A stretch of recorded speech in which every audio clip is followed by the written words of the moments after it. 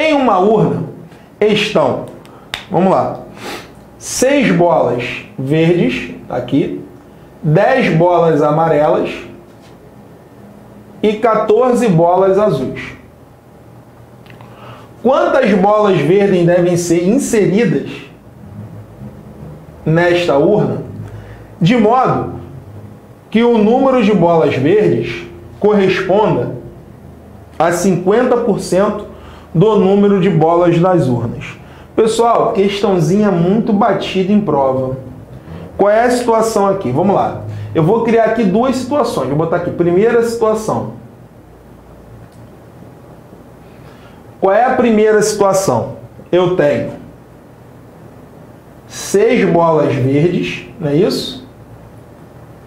10 bolas amarelas e 14 bolas azuis. Essa é a primeira situação. Qual seria a segunda situação?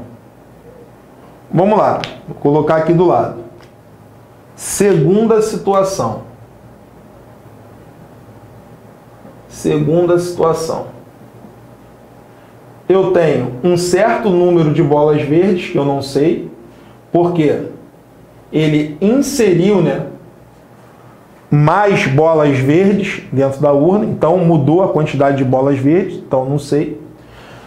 Só que a quantidade de bolas amarelas e azuis continuam a mesma. É aí que o aluno erra a questão, porque ele fica focado na bola verde.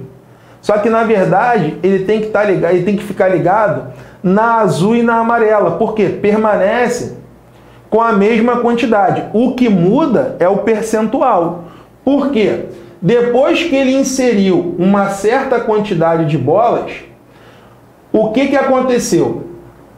As bolas verdes passaram a representar 52% do número de bolas nas urnas.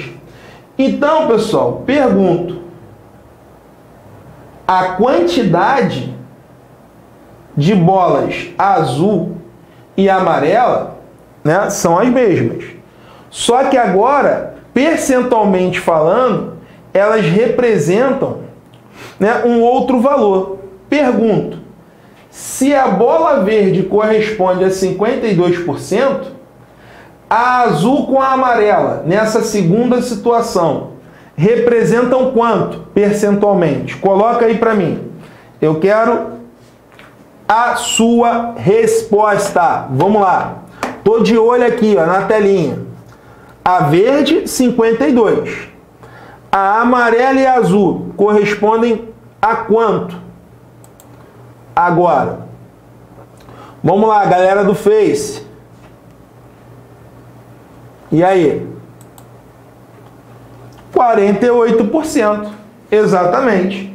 Então agora, a amarela com azul representa quanto? 52%. Pessoal, só alegria. Vou montar aqui a minha regrinha de 3, ó. 48%.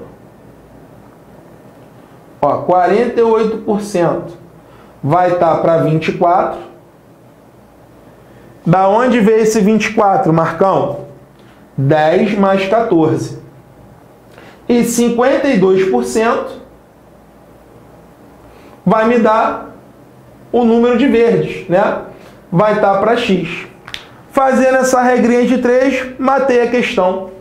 Cruzou, multiplicou. Vai ficar 48x igual a 52 vezes 24.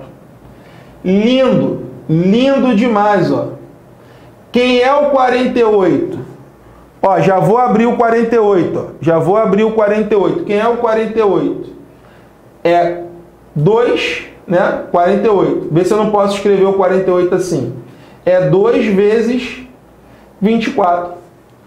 Aí, pessoal, a simplificação vai facilitar a minha vida. Olha aqui, ó. 24 com 24, ó. Pou, pou. Olha lá, já quebrei, já quebrei, já quebrei. Ó, 52 por 2. Aí é só alegria. Quanto é que dá 52 dividido por 2? Vai dar 26. O que, que significa esse 26, pessoal? É o número de bolas verdes na segunda situação. Você vai me dar a resposta. Eu tinha seis, seis bolas na primeira situação. E passou para 26 na segunda. Quantas bolas foram inseridas na urna? Coloca aí para mim. Vamos lá, quero ver a tua resposta. E aí? Eu tinha seis. Passei para 26, foram inseridas quantas bolas? 20. Gabarito, letra E de eu vou passar no meu concurso. Cara, esse é o método MPP.